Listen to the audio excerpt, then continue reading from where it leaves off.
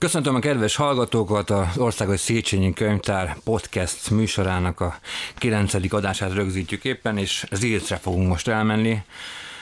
A Széchenyi Könyvtárnak van egy kinti nem tudom, rossz szó az, hogy telephely. Német Gábor a, a vendégünk, a Zilci Ciszterci műemlékkönyvtár vezetője. Rossz szó, ugye ez a telephely? Elgondolkozva érdekes, én is üdvözlöm a hallgatókat. Ugyanis hivatalos iratokon telephelyként van feltüntetve igazából. És mit, mit jelent a fenntartás, mint olyan? A fenntartás azt jelenti, hogy tulajdonjogilag nem a Nemzeti Könyvtárhoz tartozik, viszont a működtetését mi oldjuk meg, de nem csak mint intézmény működtetni, tehát rezsi, hanem bizony a könyvekkel is mi foglalkozunk, illetve mi foglalkozunk a könyvtárat felkereső kutatókkal és turistákkal is. Úgy tudom, viszonylag egyszerű úton kerültél oda, Szegeden végeztél, és egyszer csak ott megtalált ez az állás. Hogy történt ez? Én eredetileg Veszprémi vagyok, és valóban Szegeden végeztem. Szegeden nekem tanárom volt Monok István, ugye, aki most a Akadémiai Könyvtárnak és Információs Központnak a vezetője, főigazgatója, és ő akkor került ide az Országos Széchenyi Könyvtárnak az élére, ugye neki két periódus volt összesen tíz év, és végeztem Szegeden, és akkor ő talált meg, hogy Zircen van egy üresedés, érdekelne engem, mint régi könyvest, és minden összeklapult igazából, persze, hogy elvállaltam szerelmem a régi könyv. Már akkor is ismerted magát ezt a apátsági gyűjteményt, vagy ekkor kellett így bele nem, el, nem már ismertem az apátsági gyűjteményt, ugyanis egy évvel előtte ott töltöttünk a csoportársaimmal két hét gyakorlatot. Tehát akkor menjünk vissza a 12. századba, hiszen innen indul az egész apátságnak a története. Mi történt akkor? Hogy indult az egész zirci? Ugye a ciszterciek már korábban megjelentek Magyarországon, az első apátságuk nekik a mai bátaszék volt, és ugye egy hatalmas rendről van igazából szó, hatalmas szerzetes rendről van szó igazából, nekik a szülőhazájuk Franciaország, hogyha szűkebbre vesszük Burgundia. Az első apátságuk Szitó volt, latin nevén Cistercium, és akkor innen alapítottak tulajdonképpen négy olyan apátságot, ami meghatározta az egész Cisterci rendnek az életét. Ugye ezek voltak igazából Laferté, Morimom, Pontinyi, és természetesen a nagyon híres Clairvaux Szent Bernátnak az alapítása, és innen alapítják 1182-ben harmadik Béla hívására az írci apátságot. 12 szerzetes plusz az apát érkezik, és hoznak magukkal már a rendi határozatokba előírt könyveket. Mi van a szerzeteseknél könyv? Van egy 12. századi latin mondás, ami nagyon érdekes, mert Umberto Eco is idézte ezt a híres könyvébe, hogy ami szerzeteseknél játszódik, ugyanúgy egy bencés apátságban Észak-Itáliában, Rózsa nevéről van szó természetesen, ott úgy szerepel, most magyarul mondom, hogy a monostor könyv nélkül olyan, mint a város vagyon nélkül, a vár seregek nélkül, a konyha edények nélkül, az asztali étel nélkül, a kertfüvek nélkül, a mező virág nélkül és a fa levelek nélkül. Milyenek voltak az első levelek ezen a fán? A rendi előírásoknak megfelelően 11 műt írt elő a a ciszterci határozatok, és ezt három csoportba lehet sorolni. Az első csoport tulajdonképpen a liturgikus könyvek, de ide sorolhatjuk tényleg a regulát, a liturgikus naptárat, a kalendáriumot. Aztán a második csoportba lehet mondani a lelki olvasmányokat, ugye alkonyatkor olvastak fel, ez volt a kolláció, de volt egyéni olvasás is. A harmadik csoport tulajdonképpen azok a könyvek voltak, amik olyan egyházi és világi tudományokkal foglalkozó művek voltak, amik szükségesek voltak a tudomány műveléséhez a szerzeteseknek. Ugye mert akkor itt vissza kell térni arra, hogy ciszterciák a bencés családhoz tartoznak, tehát Szent Benedek reguláját alkalmazzák, és Szent Benedek ugye előírta a rendszeres olvasást, hát az első ilyen, ilyen nagy dolog, hogy egyáltalán egy belépőnek, egy új szerzetesnek mielőtt letette a fogadalmát, háromszor hangosan fel kellett olvasni a regulát, hm. a szerzetesek életének az alapját. A 15. századig egy nagy felemelkedés, a gyűjtemény gyarapodott, jöttek a különböző könyvek, kódexek, mennyire volt jellemző a, magát a gyűjteményt nézve, vagy akár a szerzetes rendet nézve, amikor a törökök megérkeztek a 15. században? Zirc a Pilis mellett a legjelentősebb ciszterci apátság volt a középkorban. Nem voltak fegyelmi ügyeim, nagyon érdekes, mert a többi apátságnak... Milyen típusú fegyelmi ügyek vannak? Szerzetesi kihágásuk. Mm. Apáti engedély nélkül például mm. elhagyja az apátság területét, tehát a szerzeteseknek helyben maradási kötelezettség volt. volt. Hát igen, hát a szerzetes élet egyik legfőbb szabály az engedelmesség, a feje való iránti engedelmesség, a feje való iránti tisztelet például. És nem voltak ilyenek. Hát ugye, ami elképesztő, hogy a középkori állományból egy darab ciszterci kódexet ismerünk a királyi Magyarországnak az állományából. Ez egy toplicai, ez egy Horvátország területén lévő középkori apátság volt. Ennek egy kódexét, ami ma az Ágrába található, meg az összes többi elpusztult.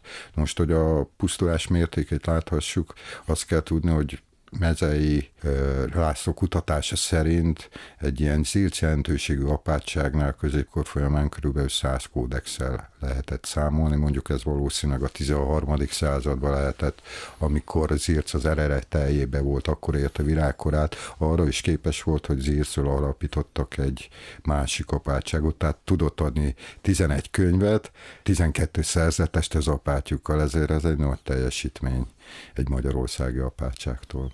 Aztán ugye a törököknek vége lett, újraindult ez a fejlődés, és, és 19. századra több mint 4000 kötettel rendelkezett. Azt szeretném, Gábor, abban segíts bennünket, hogy a ősnyomtatványt és az antikvát tegyük helyre, mint két jelentős bibliotékában, az Irci bibliotékában jelentős gyűjteményt. Mik, mik ezek? Kezdjünk a ősnyomtatványra. Ősnyomtatvány, tehát amit biztosan tudunk, hogy Johannes Gutenberg 1455-56-ban nyomtathatott először, ugye ekkora időzítik a, a fennmaradt nyomtatványát, első fennmaradt nyomtatványát, ez a 42 soros biblia. Ugye azért 42 soros, mert egy oldalon 42 sor volt. Innentől számolja a könyvtörténet 1500. december 31-ig az ősnyomtatványokat, ami ebbe a 35-40 évben megjelent, az tulajdonképpen ősnyomtatványok. Formai sajátosságok miatt nevezik így, mert ezek az ősnyomtatványok elsősorban kódexszerűek. Betűtípusba, töldelésbe, kéthasábos, nincsenek igazán fejezetek benne, a nyomdászati adatokat ugyanúgy, mint a kéziratoknál a könyv hátuljának kolofonba közlik, ilyenekre kell gondolni. Az antikvák, azok már kimondottan nyomtatvány, de általában a 16. századi nyomtatványokat nevezzük antikváknak. Itt már a betűtípus, a könyv mérete már teljesen a mai könyvformátumát üti meg. 70 ősnyomtatvány és 400 antikva van az Irci gyűjteményben. 10 kódex pedig itt van a Széchenyi könyvtárban. Ez biztonsági oka van ennek, vagy, vagy van-e könyvtár szakmai oka, hogy Mindenki itt van? Könyvtár szakmai oka van, illetve állományvédelmi oka van igazából. Zircen nem tudunk klimatizált helységet biztosítani ezeknek a kódexeknek, míg ezt a kézirattár raktáraiban ez megoldható, úgyhogy csak ennyi a magyarázat. Tartós letétbe van helyezve a Nemzeti Könyvtárban az írt CS tartozó 10 kódex. Ezzel hogyan foglalkozol, hogyan foglalkozok a ottani könyvtáros, ide kell jönnie, vagy bármiféle szakmai... Igazából, igazából ebből, ezekkel nekem nem kell foglalkozni a kódexekkel. Ugye ez egy teljesen külön szakma, ez elválik a nyomtatott könyvek és a kéziratok kezelése. Ezt a tíz kódexet itt a kollégák már nagyon szépen feldolgozták, úgyhogy igazából ebből nekem nem kell tudni, én örülök, hogyha látom őket persze. Ugye volt egy nagy kódex kiállítás Zilcen, amikor ez a tízből kilenc szerepelt ott. Itt az állományvédelemnek a digitalizálás is maga a része, ezek digitalizálva vannak? Elérhetők ezek a kódexek? Ezek jelenleg nincsenek digitalizálva, illetve az egyik igen lehet, ugye a legjelentősebb, ami egy bestiárium, és azért fontos, mert magyar nyelvemléknek számít. Egy 15. századi kódexről van szó, ami Magyar Királyság délvidéki részén keletkezett. Ugye a bestiáriumban igazából a prédikáció során a parabolaként felhasználható lények, állatok, mítikus lények vannak bemutatva, amiket tulajdonságaik alapján be lehet építeni a prédikációba, hát arra kell a ravasz róka, hangyáknak a szorgalma, és ezekhez megfelelő patrisztikus, illetve bibliai idézetek is hozzá vannak, hogy ez ércenek az adja különlegességét, az egyrészt az, hogy nagyon bájos ábrázolások készültek hozzá, másrészt pedig az, hogy ez, ugye ez egy eleve egy latin nyelvű kódex, és használat során, mivel délvidéken használták, horvát és magyar megnevezéseket is írtak a lapszélére, ezért grosszák igazából, és ebből az szempontból magyar nyelvemeknek számít. Hamarosan eljutunk napjainkig, de volt a második világháborúnál egy, egy nagy váltás, és tulajdonképpen a 1953-tól került a, a, a gyűjtemény a Széchenyi könyvtárhoz, akkor Reguli Antalról nevezték el. Mi ennek a története? Ennek a története az tulajdonképpen, hogy 1950-ben születik az a a rendelet, ami szerint betiltják Magyarországon a legtöbb szerzetes rend működését, és a ciszterciek a betiltottak között voltak. Ugye ott volt a gyönyörű gyűjtemény, a gyönyörű könyvtár, és hál' Istennek ez a könyvtár megúszta azt, hogy az állományát elvonják belőle, és általában egy ilyen vidéki raktárba tették ezeket, és onnan dolgozták fel, vagy onnan használta fel tulajdonképpen általában Nemzeti Könyvtár, illetve át, hogyha többes példány volt, akkor más könyvtárak is, közkönyvtárak kaphattak ezekből az anyagokból. És akkor 1950-től jutott tulajdonképpen a népkönyvtári központ kezelésébe, de a Népkönyvtári Központot 1953-ban felszámolták, és akkor jött egy minisztérium utasítás, hogy ezeket az áll, ezt az állományt, és mellett a Gyöngyösi Ferences könyvtárnak az állományát az Országos Széchenyi Könyvtár kezelésébe kell adni. Ami nagyon érdekes, mert múltkor találtam meg egy ezzel kapcsolatos átadás átvételi jegyzőkönyvet, a Népkönyvtári Központ részéről Borsa Gedeon adta át a hm. könyvtárat Valdap Feleszternek, aki akkor a Nemzeti Könyvtárnak a főigazgató helyettese volt. És ennyi a történet, és akkor 1955-től nevezték el Reguliantaltól, valószínűleg azért, mert ugye hát ismerjük az előző rendszernek az egyház ellenes, nem maradhatott ciszterci, viszont Reguli a Zircnek a legnagyobb szülötte, ugye ismerjük őt úgy, mint utazó, úgy, mint nyelvész, úgy, mint rokonnyelvek kutatója, illetve akár még a földasz területéről már az urálnak a feltérképezőjének is számított. Ő Zircen született, és valószínűleg ezért nevezték el róla a könyvtárat. 2002-ben elkezdted ott a munkát, azért hatalmas változás történt az elmúlt húsz évben, és most arra szeretnék kérni téged, hogy itt ugye podcastben vagyunk, ahol autóba, otthon, vagy reggel fogmosás közben hallgatnak minket a hallgatók. Itt a, a könyvtár hogyan néz ki? Bemegyünk a lapátságba, ez egy két tornos szép nagy épület, és az emeleten találunk egy nagy dísztermet. Ez hogy néz ki ez a díszterem? Igen, tehát a könyvtár maga a második emeleten kapott helyet. Ezt a második emeletet a 19. század közepére húzták fel az eredeti barokk apátságra. Kimondottan teremkönyvtárnak készült ez, hát körülbelül egy 8x10 méteres alapterületű, 15 méter Magas. belmagasságú dongaboltozattal kazettákkal ellátott tetőszerkezet van rajta, és egy gyönyörű intarziás bútorzatot rendeztek be. Ugye ez a megfigyelhető 18. századtól a teremkönyvtárak, kastélyokba, apátságokba megvalósulnak. Ezek ugyanis reprezentációs célokat is szolgáltak, bemutatták azt, hogy a tulajdonosnak milyen a hozzáállása a kultúrához. Általában nagyon díszesen berendezett termeket, utalhatok itt a Kalocsai érseki könyvtára, az Egri Líceumnak a könyvtárára, tehát tényleg díszes bútorzattal ellátott, sőt, még sokszor az is volt, hogy a tulajdonos egységes kötéssel látta ekkor el a könyveket. No, ez Zirce nem valósult meg, és ebből a szempontból Zirc nevezhető a Magyarország területén az utolsó teremkönyvtárnak, utána ilyen már nem épült. Tehát 1846 és 1856 között készült el ez a gyönyörű intarziás bútorzat, ami Zércen van, és ami itt megdobogtatja persze a helyiek szívét, azt, hogy egy zérci asztalos mestercsalád, a Vilde család készítette el ezt, vagy alkotta meg, hogyha szépen akarok fogalmazni ezt a bútorzatot, és tulajdonképpen galériás és 35 ezer kötet elhelyezését biztosítja hogy benne van a nevében is, hogy műemlékkönyv, tehát maga ez egy műemlék, a terem is, ha mondhatni ezt, vannak hatalmas ilyen földgömbök is a, a terem közepén. Milyenek ezek? Ez egy globuszpár, 17. századból, Amsterdamból, a Blau család műhelyével. Ugye a Blau család 17. században az egyik legnagyobb kartográfiai kiadó Európában. Nyomtattak térképeket, és készítettek glóbuszokat.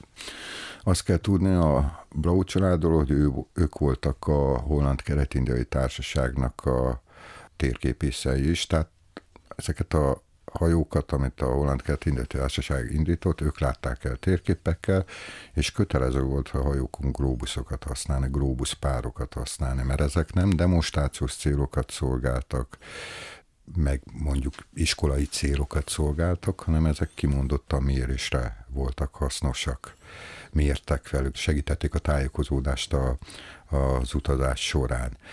De készítettek persze úgymond világi civil embereknek is ilyen glóbuszokat, de ahhoz bizony megfelelő referenciákkal kellett rendelkezni, hogy a Brau család szóba álljon az ilyen emberekkel. Magyarországról két családról, két nemesi családról tudunk, akik a Blaujektól rendeltek glóbuszokat, az egyik az Rényi család. Ugye az Rényi családnak a könyvtárát megvásárolta a horvát nemzet, és ma a Zágrábi Egyetem és Nemzeti Könyvtárba található két glóbuszokkal együtt, mert a könyvtárakhoz kapcsolódtak mindig ezek a glóbuszok. Míg a másik család a Nádasdi család volt. Nádasdi Ferenc, akit meg kell nevezni, ugye arról a Nádasdi Ferencről van szó, akit 1671-ben a Veselényi féle összeesküvésbe fej- és jószágvesztésre ítélnek. És neki a Lorettói kastélyába szerepelt ez a két glóbusz, ezt leírásokból tudjuk, a számlák is megvannak róla, és Lorettóba különben a kastély mellett alapított egy szervita apátságot is. Amikor meghozták az ítéletet, ugye vagyonvesztésre, ez a könyvtárára is vonatkozott. Az udvari könyvtáros akkor lement, Hof Biblioték könyvtáros, és amit érdemesnek ítélt a Bécsi könyvtár számára, azt összeválogatta, aztán utána kulcsot tulajdonképpen odaadta a szervitáknak, hogy innen őrizik ők a könyveket. Annyit tudunk még az egész, hogy a 18. század vége felé ez a két glóbusz feltűnik Tatán az Eszterházi kastélyba. És a 19. század közepén egyszer csak két glóbusz ott van Zircen. Ugyanakkorák, mint a számlákon szerepeltek, és nem tudjuk bizonyítani, hogy ez, ezek a nádasdi glóbuszokról van szó, de erős a feltevésünk róla. Még azt mondjuk el, hogy ezek bő egy méteresek, ugye? 68 cm az átmérőjük, igen, nekik.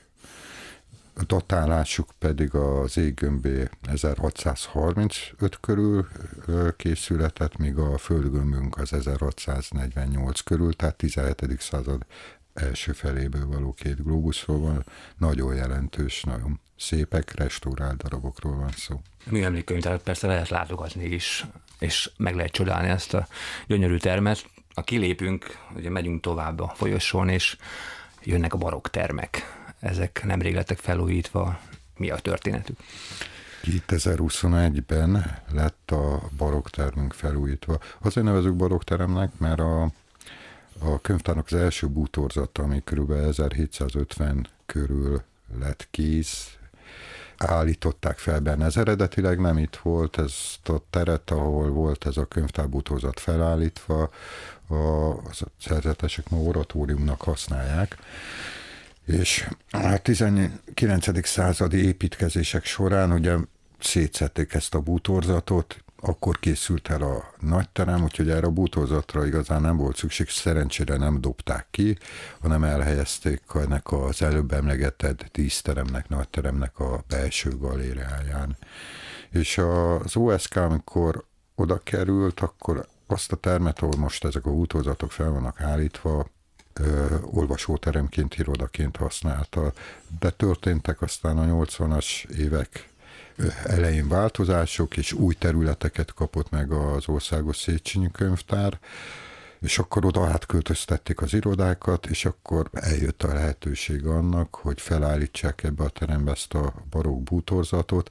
Valamennyire restauráltatták, de valószínűleg nem szakszerűen, mert amikor 2021-ben ezt megnézték, a, a mai restaurátorok mondták, hogy sürgősen beavatkozásról van szükség, és szétszették a teljes úthozatot, felkerült Budapest egy restaurátor, fa restaurátor műhelybe, és egy elképesztő változáson mentek keresztül, egy gyönyörű, gyönyörű, gyönyörű bútorzatot kaptunk vissza. Itt különböző kulturális rendezvényeket is meg lehet akár rendezni, akár ilyen külső rendezvényekre is igénybe lehet venni ezeket a termeket. Legutóbb, legalábbis ami én voltam, a Padányi Márton könyvtárról szóló bemutató volt, amit szintén te követél, ez egy óriási munka volt ennek a befejezése. Mennyire vagy elégedett a, a művel? Elégedett vagyok. Azért vagyok elégedett, mert aki megnézi ezt a könyvet, egy elképesztő minőségű nyomtatványt vehet kézbe. Ez nem rajta múlott, ez igazából a könyv tervezője, aki megalkotta ezt, és én adtam hozzá tulajdonképpen a kutatómunkát, a szövegtestet, a korpuszt, de ezt, hogy ilyen formában viszont láthatom, ennyi fényképpel, ilyen díszítésekkel, ez egyszerűen egy fantasztikus érzés máig. Tudom, hogy ott van benne a munkám, tudom, hogy egy hosszú munkám van benne, de az akkor is így kinyomtatva látni ilyen formátumban, ez nekem mindig egy nagy öröm. A Padányi Mártont azért tegyük helyre, hogy ki is volt ő. Bíró Márton, Padányi Bíró Márton, Veszprém püspöke, 18. században mindenképpen a legjelentősebb püspöke, és ő a Veszprém Egyházmegyei gyűjteménynek a megalapítója, könyvtárnak a megalapítója. Neki ez a katalógus, amit feldolgoztam, ami 652 művet tartalmaz igazából, képezte a mai egyházmegyei gyűjteménynek az alapját. És ezért is fontos, ugye 18. században a török után újjá kellett építeni a az egyházmegyéket újra, újra kellett szervezni az egyházmegyéket, persze arra, azokra gondolok, amik a hódoltsági területen voltak, és a Veszprém egyházmegyének is nagy része erre, e, e, így volt, meg hát ugye egy amikor Padányi oda kerül, Veszprém egyházmegyének a többsége református, és ugye tudjuk, hogy a, a Habsburg udvar erőteljes támogatásával kezdődött ekkor egy rekatolizáció, és ebbe Bíró Márton elképesztő érdemeket szerzett, mert püspöki megbizatása végére, illetve a halál akkor 1762-ben már a, a vár, illetve az egyházmegyének a többsége katolikus. Mutattál ott egy érdekes könyvet, amit mint hogyha egy vésővel belevéstek volna bele egy síkot. Ennek a történetét elmondod? Igen, ez egy másik könyv, és ez nem Bíró Mátonhoz kapcsolódik, ez Zirci, uh-huh. ez egy Zirci könyv. És ugye második... De bemutatom volt, nyugtass meg, hogy jól emlékszem. Nagyon jól volt. emlékszel, Péter, nagyon jól emlékszel. Igen, ott meg akartam mutatni, nem tudtam bíró, hogy ez Ircen Bíró Máton könyveiből nem tudtam mutatni, csak mondtam, hogy minden könyvnek van története, és erre egy tipikus példát emeltem ki, ugyanis 1944 őszén már légi veszély volt Zircen, jött, közeledett a front, és ugye bombázták a kisvárost is, kis települést is akkoriban, és a szerzetesek elkezdték lehordani a könyveket az alsó szintre, és amikor beérkeztek az oroszok 1945 márciusában, az apátságba is bevonult a az orosz csapatok, szovjet csapatok, és hogy hát kinyitni néha az ajtót, biztonságosabbnak látszott, hogy először ráeresztenek az ajtóra egy sorozatot, és akkor utána nyitnak csak meg, és akkor így kevesebb meglepetés érheti őket, és ahova beeresztett, ott pont könyvek voltak, és az egyik ilyen golyó ebbe a könyvbe állt bele, és ami nagyon bájos, hogy egy történetet, tehát történetét leírták a könyvbe egy szerzetes szorgalmasan beleegyezte, hogy mi történt. Én is innen tudom, hogy ez a roncsolódás egy golyótól származik a könyvben. Ilyenkor mit mond a könyvtár szakma, hogy kijavítjuk ezt a roncsolódást, vagy megtartjuk? Mivel egy olyan nyomtatványról van szó, egy olyan 18. századi teológiai munkáról van szó, ami én megállapításom szerint nem különösebben értékes. Ennek a könyvnek az értéket ez a történet fogja jelenteni igazából, hogy, hogy ezt így kell hagyni. Van a barokk termékben 2000-2500 kötet, a, a teremkönyvtárban 35 ezer. Hogyan képzeljük el a szakmai munkát? Mi, mi történik? Digitalizáljátok? Van, amit föl kell dolgozni? Is.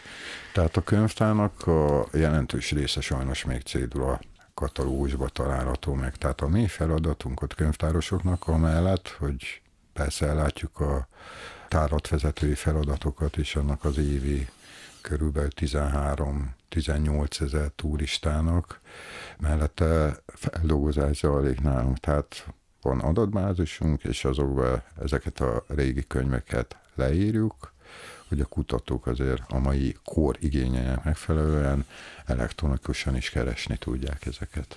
Van olyan kötet, ami meglepődsz, hogy megtaláljátok, vagy ami Volt már szakmailag is egy érdekes kihívás?